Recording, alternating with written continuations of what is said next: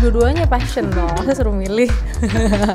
Karena itu dua-duanya basic stuff yang kita aplikasiin sehari-hari gitu loh. Fashion saya pakai baju kan tiap hari sandang gitu loh. Yang satu lagi pangan which is food gitu. Jadi dua-duanya tuh hal yang emang kita apply sehari-hari aja.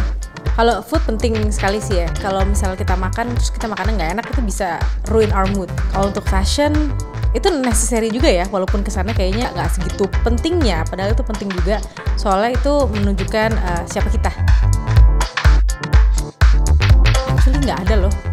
Saya nggak bener-bener ada orang siapa yang saya suka banget. Mungkin kalau dulu saya suka banget sama Kate Moss ya karena dia in a way she's so effortlessly beautiful gitu. Yang untuk terbaru Katy Perry ya I like Katy Perry. Cuma kadang-kadang dia suka ajaib juga. Cuman saya suka sama dia overall karena juga selain suaranya karakternya sama berani gitu kalau in, terms of fashion. Mungkin tas ya. Actually saya banyak banget ya nyimpen-nyimpen barang-barang yang bahkan dari SMP sampai sekarang yang kalau menurut saya it's classic saya simpen gitu sih. Aku kalau misalnya tas aku suka YSL aku suka Chanel. Itu dua sih yang aku suka banget sih. Uh, cuma nggak harus bermerek. Ada kok beberapa tas-tas yang belinya juga di flea market gitu. Sampai sekarang tapi masih bisa dipakai. Habis itu kan saya kebetulan juga desain tas sendiri.